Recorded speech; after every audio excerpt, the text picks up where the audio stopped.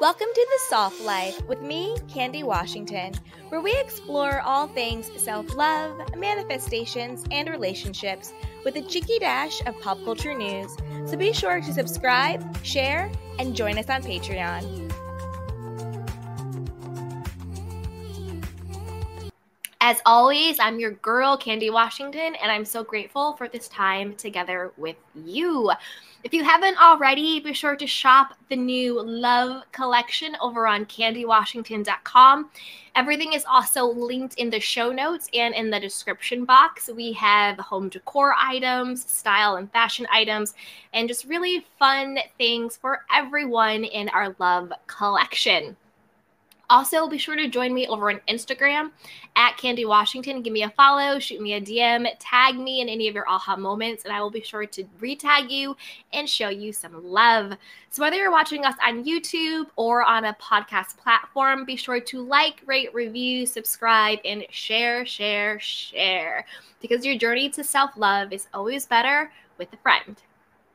So now let's get into it. So today's episode is really more about a I don't know, like a realization that I had. I kept seeing the word fearless.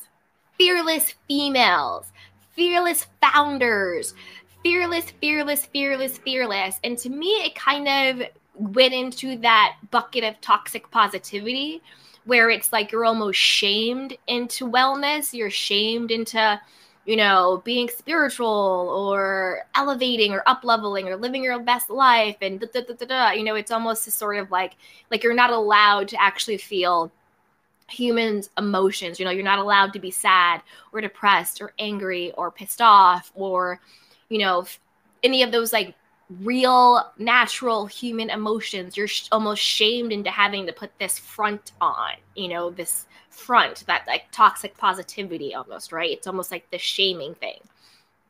And to me, that is kind of what fearless was doing because fearless means lack of fear. There's no fear. So you feel almost inadequate or less than if you have fear around stuff. Like there is fear with starting a business, there is fear with putting yourself out there, there is fear with asking for a promotion at work, there is fear with wanting to, you know, start taking care of your body and and and getting into shape or getting healthy. There is fear in putting yourself out there to find you know a partner or love. Like you know there there is fear in that. There's unknown in that. There's uncertainty in that. Of course you're there's fear but when we hear again and again and again oh fearless entrepreneur fearless ceo fearless whatever it is you kind of feel bad or that you're not enough or or you're inadequate if you have fear. And that to me simply is not the case. It means that you're human and it means that you're actually in tune with your own emotions. I think that it would be bizarre and a little bit unhealthy if you did not have fear when you're trying to up level in life, if you did not have fear when you're trying to make a change in your life, if you did not have fear when you're trying to step out on faith, when you if you did not have fear when you are trying to, you know, just do anything in life, take go go to a next level or a new dimension in your life, you know, whether it is starting a business, whether it is finding love, whether it is your health journey, you know, whatever it is. I think calling people fearless doesn't make any sense to me. And where is the glory in being fearless? If it's if you don't have any fear, then how is that anything? You know what I mean? Like it doesn't make any sense to me. So the word that I use instead of fearless is courageous. And I think that is a better framework. I think that is a better meaning. I think that's a better word because to me, being courageous is feeling the fear and doing it anyway. Having the courage to overcome the fear. To me, that is what is inspiring me, is inspiring. To me, that is what is human. To me, that is what is aspirational. That's what I want to be. I don't want to be fearless. I want to be courageous. There are courageous people in life. It takes courage to ask for that promotion. It takes courage to start your health journey. It takes courage to start your own business. It takes courage to leave an unhealthy relationship. It takes courage to put yourself first.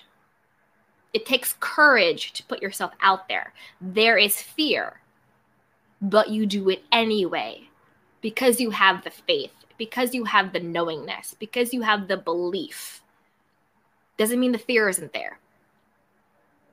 And that's what I want to identify with. I want to identify with courageous people.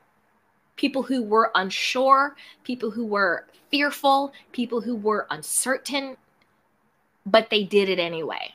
Those are the people that I want to learn from. Those are the people I inspire to be. That is the person that I am. I have fear. I have uncertainty. I have unknowing.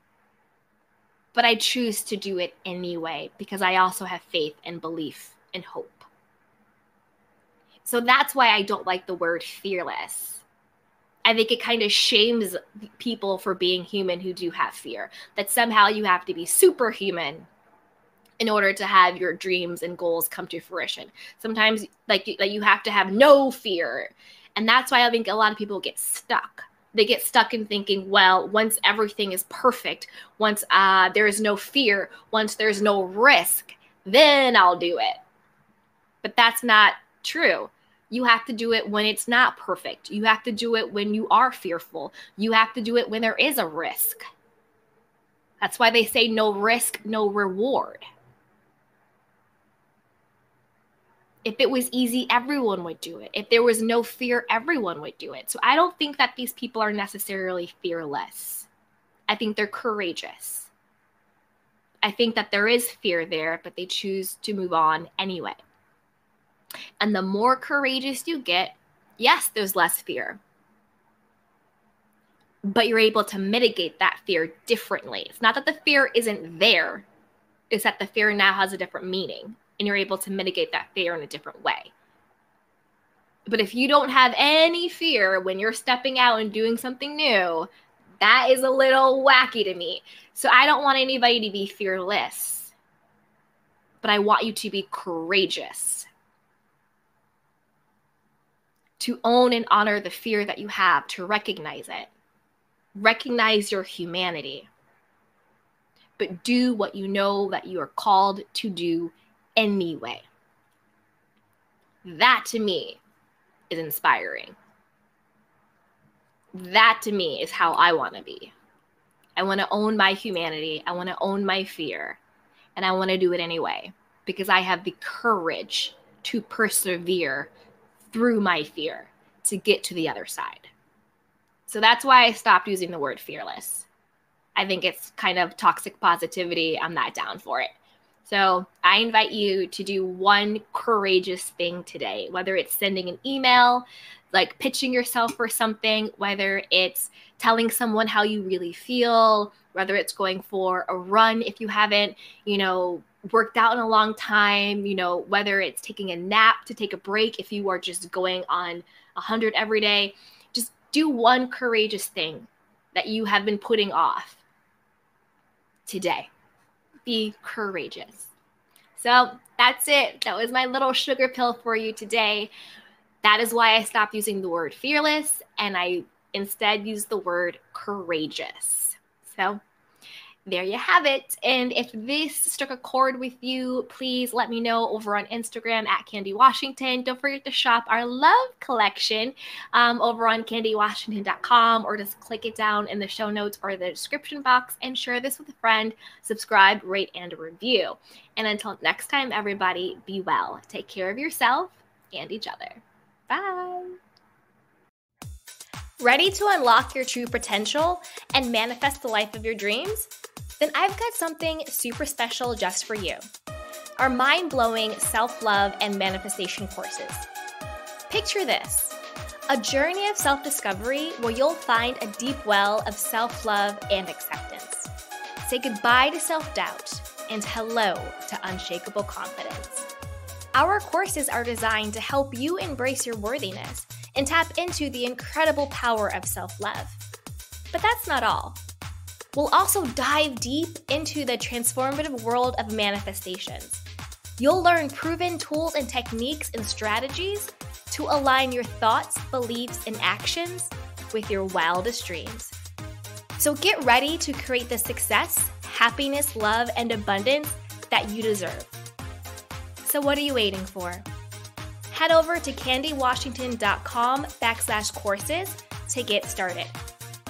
Again, that's candywashington.com backslash courses.